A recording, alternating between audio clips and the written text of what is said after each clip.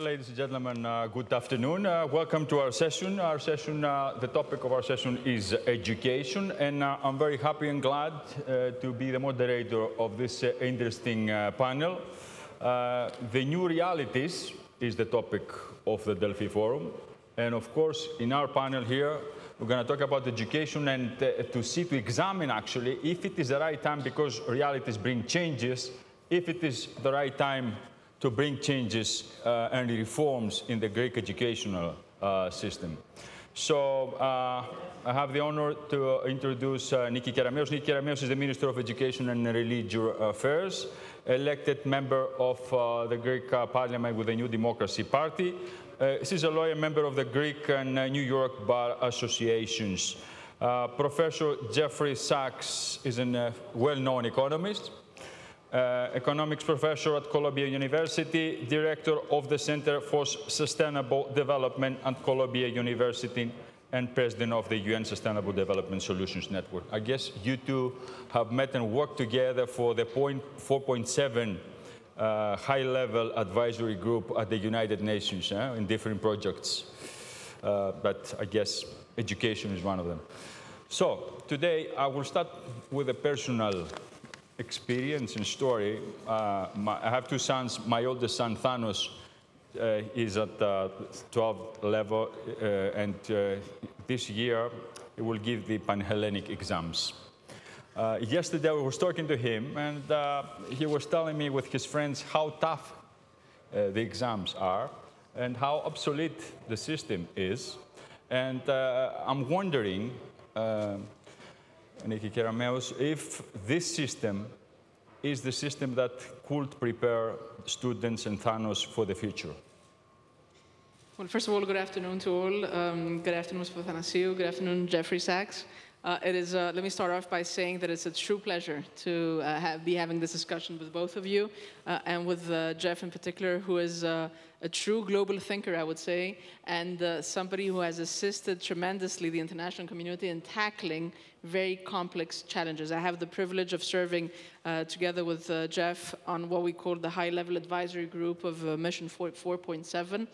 And uh, we have both worked very closely um, uh, regarding transformative education and basically, and I'll jump right to the answer to your question, how um, can the education system prepare the youth for the challenges that lie ahead? And um, I, I, firmly believe that when one is crafting now in 2022 education policy, one should have a look at the 2040 plus environment. So 2040 plus environment. Why? Because take, for example, a, a child, a student that's now going to enter first grade, so six years old, he's going to finish more or less his student pathway um, uh, and enter the workforce roughly around 2040. Um, in 2040, I think it's really hard right now to predict what professions um, are, are going to be applicable, what jobs will be out there. So I think it becomes even more important to focus a lot on skills. And that's one of the emphasis we are placing as a government, as Ministry of Education, um, in responding to a question, what has to change?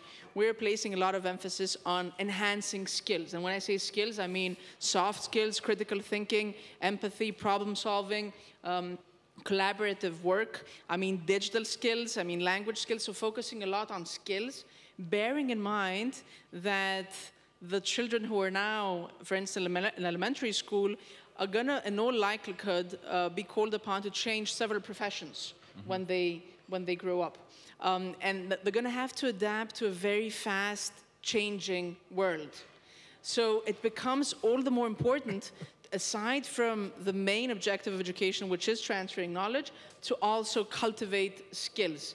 And that's something that uh, the SDG goals aim at. That's something that transformative education aims at. How do you enhance skills? Mm -hmm. And how do you do this in practice? For instance, you do it through the introduction of what we call the skills labs, which is a new uh, thematic in the mandatory school program uh, through themes such as um, uh, climate change, tackling climate change, through road safety, through sex education, through robotics and STEM. So new thematics that are introduced in the mandatory school program and aim at enhancing skills, focusing on skills, um, a more critical approach that uh, touches upon also the subject matters, and so I come to your son's case as well, um, and how the entire school system must adapt. It's important to adapt to this new way of thinking, um, and the approach always being having uh, in mind the future and what the expectations of our children will be for the future. How are we going to best equip our children to adapt the future? So focusing on skills, mm-hmm. focusing on uh, bringing closer education to the actual needs of society, uh, focusing on inclusion, how education can encompass and can provide equal opportunities to all um, focusing also on greater autonomy of educational units and decentralizing the system, focusing on extroversion. I mentioned five pillars um, of five top priorities that we okay. have in order to render the mm-hmm. education how system. How far, uh, very quick, because I want to go to Professor Sachs, how far we are, we present this, you present this an ideal educational system. How far are we from today in public schools? Look, a, lot has been done. Um, it has to be, uh, we have to move forward with implementation. We'll give you an example for each of the five. For instance, uh, focusing on skills. We have introduced the skills labs, which aim at exactly that. Uh, second example, uh, bringing closer education to the actual needs of the labor market. I'll, I'll, I'll, give you one example. Uh, just a few days ago, Jeff, I was in Western Macedonia, in Kozani.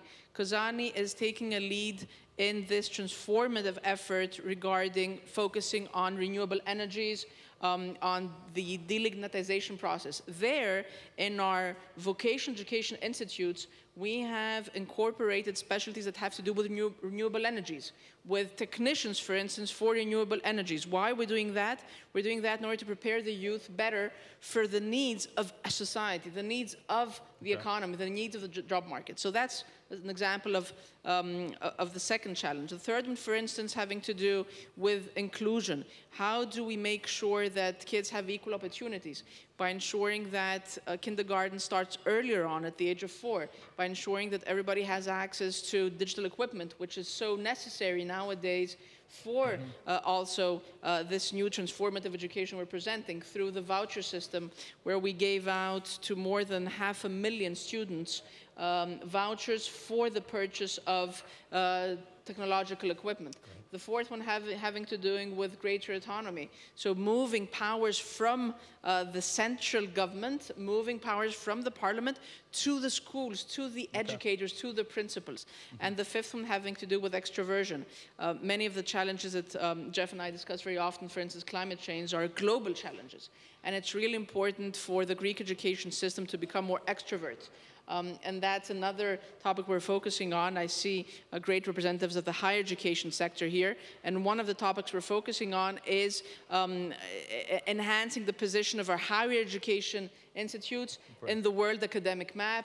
Um, very strong collaborations between our Greek universities with top universities from abroad. Columbia University, for instance, has uh, a great collaboration with one of our top polytechnic schools. Okay.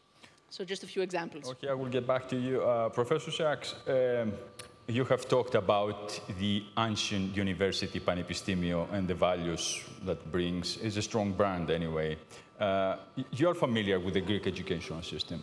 What, what is the elements of reforms the Greek system you think needs in order to, to answer the needs of the kids in the future? I like everything uh, that I've heard uh, about the reforms that are underway.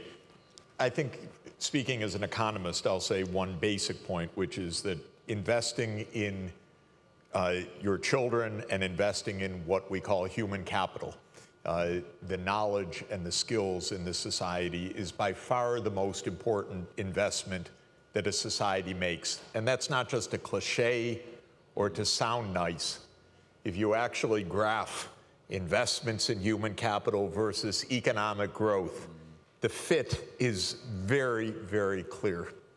If you look at why the East Asian economies have soared in the last 40 years, they're at the top of these test scores, for example.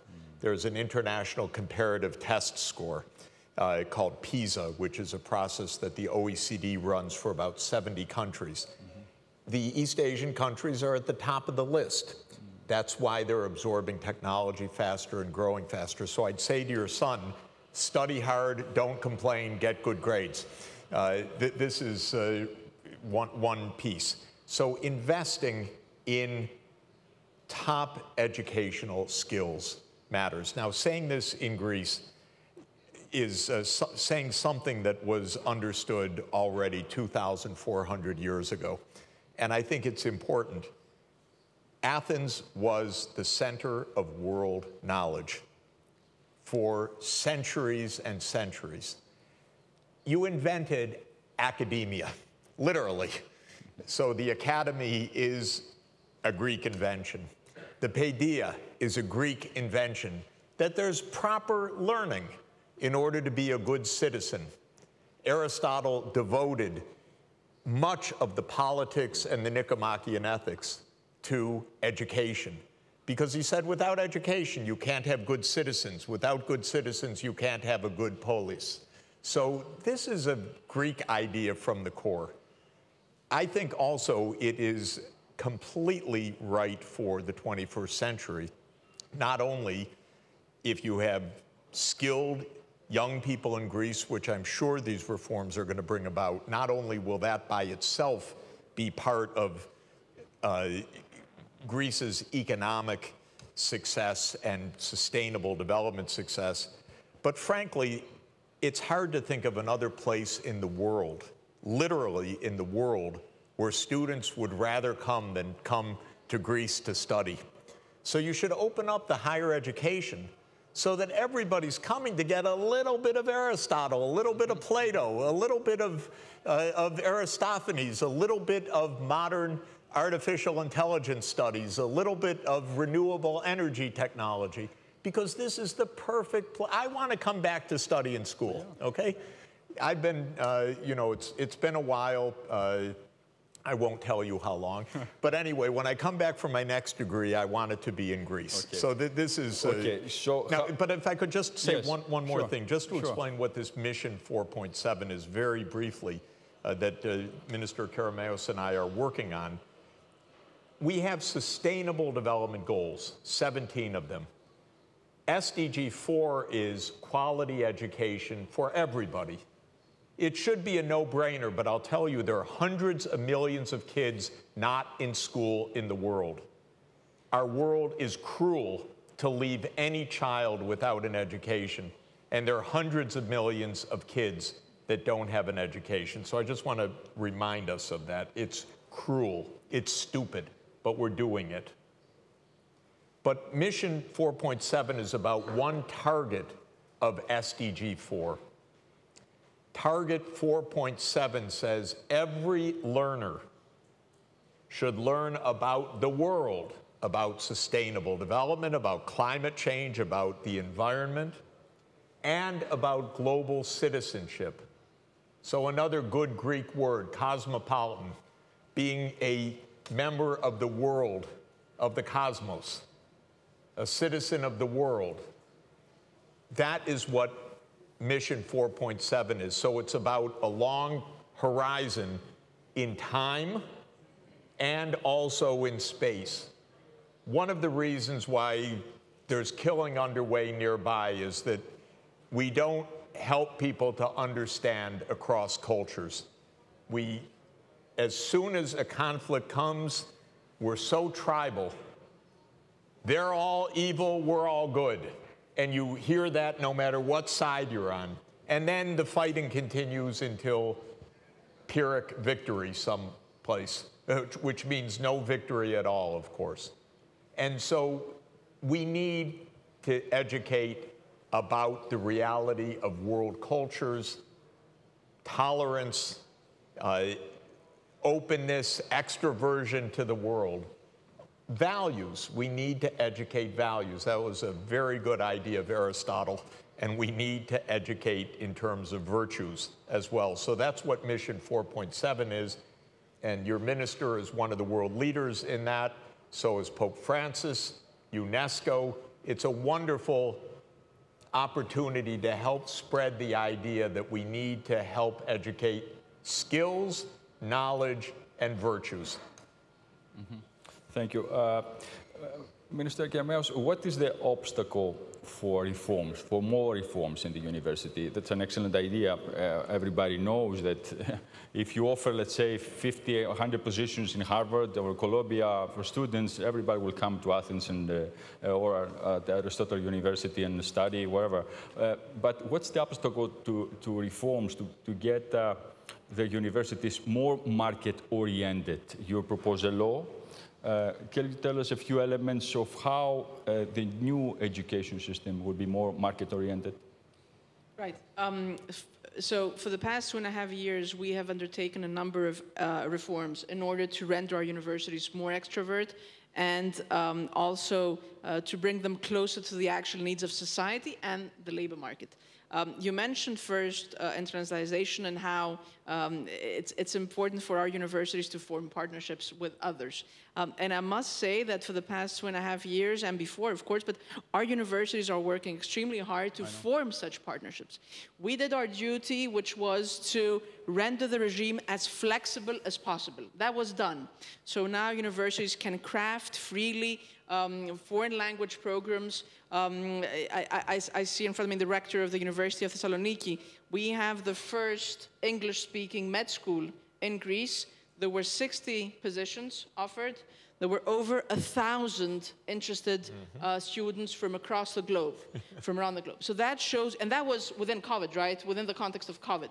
Um, same thing, University of Athens, uh, other universities as well. Uh, I see the rector of the Polytechnic School. Uh, they have a fantastic partnerships with, partnership with Columbia. So uh, a number of reform, a number of such partnerships are now being formed uh, with top universities in the U.S., but beyond the U.S. also, the United Kingdom, um, uh, China, etc. Um, how do you bring universities closer to the actual needs of society? Right now, we have a piece of legislation that's um, uh, getting ready to go into public consultation. A, a, significant segment of such legislation pertains exactly to the issue you raised. How do you bring closer universities to the labor market? I'll give you a couple of examples. First, through, through practical training. Through, so um, giving incentives to both students and universities to focus more on practical training, um, uh, uh giving credits concrete credits depending on the duration of the practical training to students doing practical training, um, uh, providing for minimum compensation, providing for, um, uh, for other benefits for those doing practical training. Uh, another example, industrial PhDs. Mm -hmm. So instead of doing PhDs in the abstract, rather uh, tackling a concrete challenge of the industry. I mentioned the renewable energies before. One of the major issues idea. is waste disposal what do you do about waste disposal in the context of renewable energies? There is a fantastic topic for a PhD candidate to focus on. So industrial PhDs is in the new legislation, a complete regime regarding industrial PhDs, and in fact, is, there is a very significant financing from the RRP package um, on industrial PhDs. Um, so there too, there's another example of how do you bring closer uh, universities with the actual needs um, of society um, and the labor market. Mm -hmm. Mentioning uh, Mr. Papaioannou, uh, uh, personally, I got a master's degree last year in an English program uh, about communication and journalism, an excellent program where students from the United States and Europe uh, were participating. Uh, some, some critics, though, Minister Kerameus, say that is it the right time for reforms because these reforms that you want to uh, push, uh, they always uh, have reactions. Is it the right time to push this kind of reforms that, you know, the Greek system, everybody agrees that need, are needed? Mr. Pathanasiou, this government and this Prime Minister Kyriakos Mitsotakis have been elected to do reforms. That has been the mandate that the Greek people gave to Kyriakos Mitsotakis, and we have followed in education a bottom-up approach. What do I mean? We started from the bottom, from um, the most crucial years of kindergarten, and we have moved our way up uh, to universities. So we have passed legislation on kindergartens, on elementary school, on junior and senior high school, on the Panhellenic exams, uh, on vocational education and training, and now we're moving following up on other efforts we have done in the uh, uh, higher education field. Now, this is one uh, significant piece of legislation, I would say, providing a holistic framework for higher education.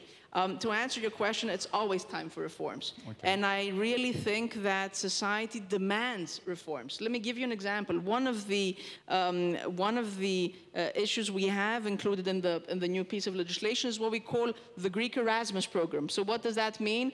the possibility for a, for a student who's, for instance, in uh, architecture, to be able to go for a semester and follow a fine arts class um, things that happen abroad for which there's no possibility to large extent today, uh, I think are no-brainers, quite frankly. And I think that society is demanding that we give more opportunities, more flexibility to both our students and to our universities. Another example, uh, joint and double degrees uh, leading to, uh, you know, to two diplomas um, that uh, are provided for in this new piece of legislation between two or more departments of the same university or of uh, different universities. Mm -hmm. So these are opportunities that I think, um, you know, we have to move fast. Um, we are um, uh, approaching the end of our third year um, of, of, our term. Uh, as I said, we have passed the majority of the reforms we promised the Greek people.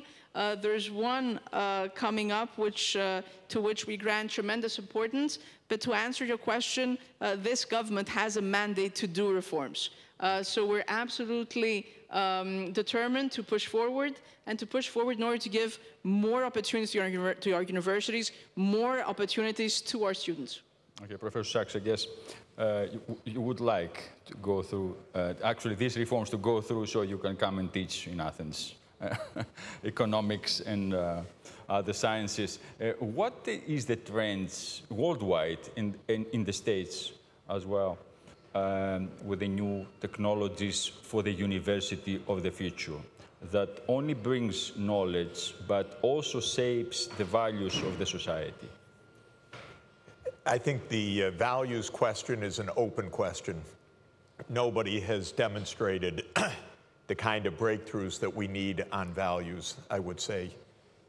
What I think is interesting on the technology side, though, is we all have seen in the last two years uh, what online education means. We were thrown into it uh, rather amazingly, I would say, universities and schools, all, all the way to uh, lower school level, primary school level, within a week or two, figured out how to do online education.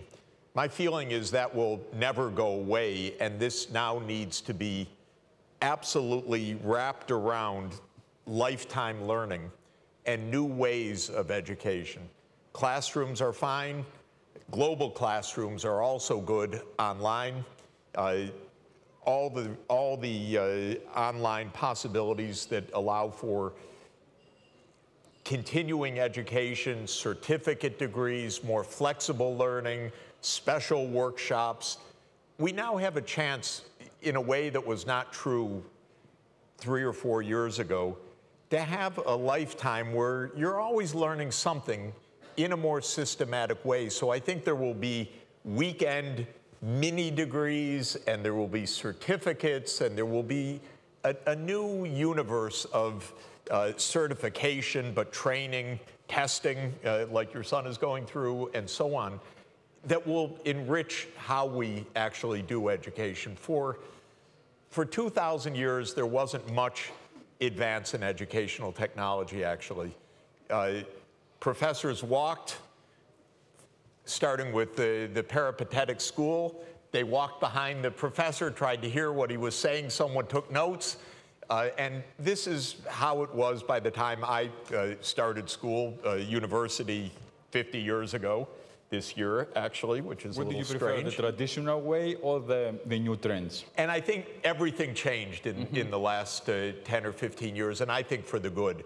I often, I mean, now it's trivially true, but I, I've been doing it for the last 15 years. I often have classes where there are 30 campuses from around the world online 15 years ago, I started teaching 8 a.m. in New York, 8 p.m. in Beijing, and everything in between. It left out Australia and California, it's true, but there was a 12 hour time zone in which we could have 25 or 30 campuses talking together about climate change or environmental.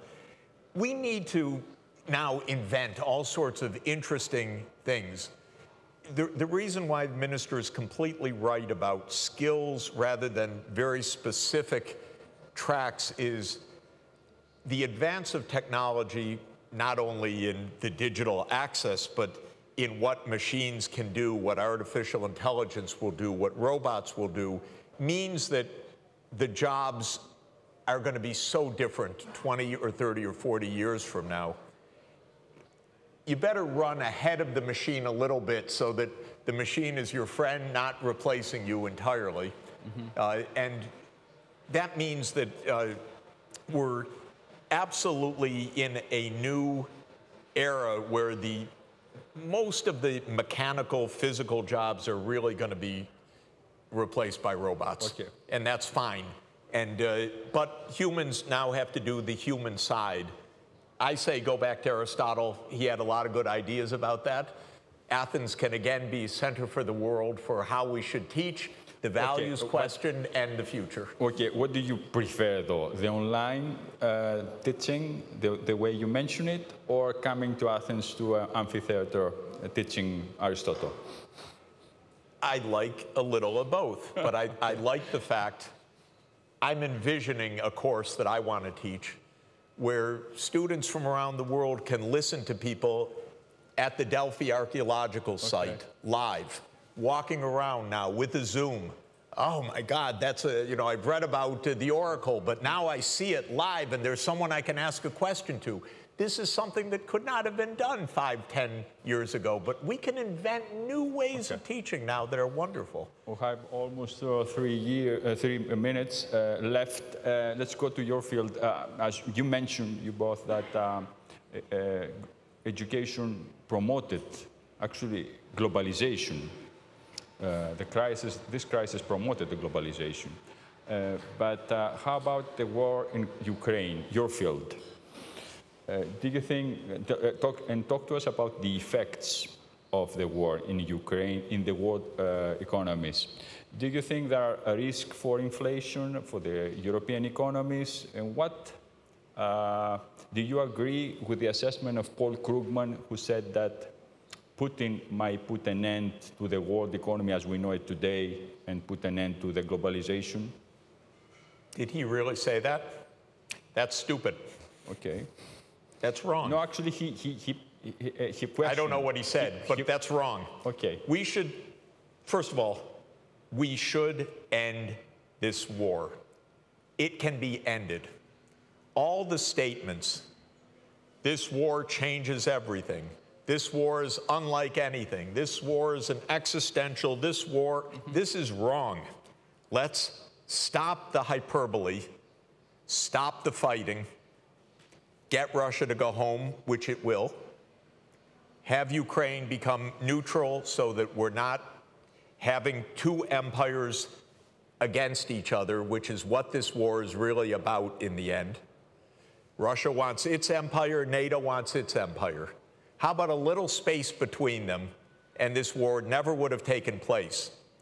And instead of all the hyperbole, which is going to drive us crazy because we really are tribal if we fall into this trap, we will blow each other up unless we say, This is crazy, stop, both sides, Okay. go home. So I just want to say it doesn't change everything. And we shouldn't end globalization, and we shouldn't end the idea. Russia's still going to be there, by the way. Russia's been involved on the borders of, uh, of uh, these wars for. Okay. uh, So before we go to I just want to make a point. Let's end the war, Okay, not uh, talk about the change of everything. Great. Uh, risks for the economy? Uh, uh, For the are- economy, the longer the war goes on, the more pain. If the Americans have their way, the war will go on a long time because Americans love long wars. They think the war in Afghanistan, they started it 40 years ago. Okay, that's fine. It wasn't on our territory. The war in Syria. Americans don't mind perpetual wars on someone else's territory. So, just to say, Europe will suffer unless this war is stopped. So, Europe should not fall into the trap Okay. of escalation. It should end the war. Are we falling to the trap? Uh, because we already see the effects in the Greek uh, economy. Uh, and does the uh, government, Mitsotakis government, does enough to relieve the people? First of all, we're talking about an illegal war. We're talking about the violation of a sovereign state. Uh, Greece has, and the EU has fully condemned this war from the very beginning. I do too. We're, we're talking about tremendous consequences on, uh, you know, regarding people's lives. We have seen uh, the- the- uh, really horrific images, which one would never expect to see in 2022 uh, and in Europe. And yes, it has uh, important consequences, which touch upon every country, and of course Greece as well. Uh, especially aside from the tremendous loss uh, of, of human cap, of, of, of humans, which is the number one uh, uh, horrific loss. In addition, there are very important consequences on the energy field, um, and that's why this government has and is doing everything in its power. We have given over 4 billion, roughly 4 billion euros in support um, of, uh, in a targeted fashion, primarily in support of those in need uh, so as to alleviate some of the effects of this, uh, of, of this energy crisis. But of course, the EU has to act um, over and above what each member state is doing, and that's why we have undertaken efforts, and our prime minister has undertaken efforts in order for the EU to take united action, uh, just like we did in other fields, for instance, when uh, negotiating the purchase of vaccines altogether uh, as European Union. Uh, so no one member state can solve this problem. We as Greece are doing everything in our power uh, um, to alleviate the effects, some of the effects of this um, uh, energy crisis, uh, but the EU has to act united on this front as well. Thank you so much. Uh, Minister Kerameus, Professor Sachs, thank you so much for your participation. Uh, it was, I really enjoyed the discussion with you. Uh, interesting comments. Uh, ladies and gentlemen, thank you so much. Uh, thank you for your attention. Uh, here we come to an end. Thank you. Bye-bye. Thank you.